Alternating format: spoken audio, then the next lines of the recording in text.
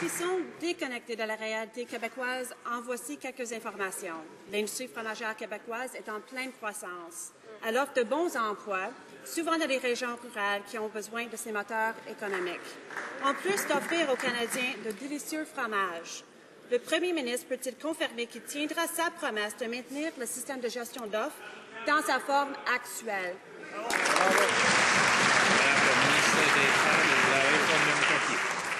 Monsieur le Président, les trois piliers de la gestion de l'offre sont protégés dans euh, cette, entente.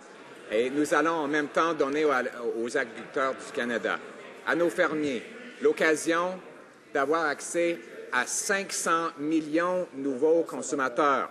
C'est une, occasion de, croissance pour nos, fermiers et c'est une opportunité pour notre pays d'ajouter 12 milliards de dollars et 80 000 emplois. C'est une grande victoire pour les consommateurs, les contribuables et nos fermiers. Bravo! Je pense pas qu'ils ont compris l'essence de ma question, Monsieur le Président. Au moment où le Premier ministre a pris le pouvoir, il a promis de soutenir les agriculteurs canadiens et les collectivités rurales. Mais en raison de l'usure du pouvoir, il les rend maintenant pour acquis. Combien les conservateurs ont-ils obtenu en reniant leur promesse de protéger nos producteurs et la gestion de l'offre?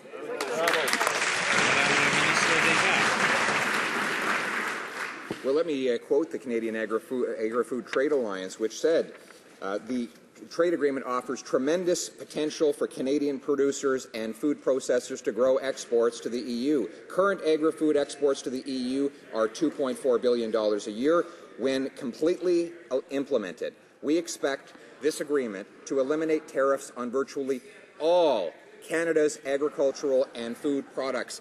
This is 500 million hungry customers waiting to buy Canadian agricultural products. It is an enormous victory for our farmers.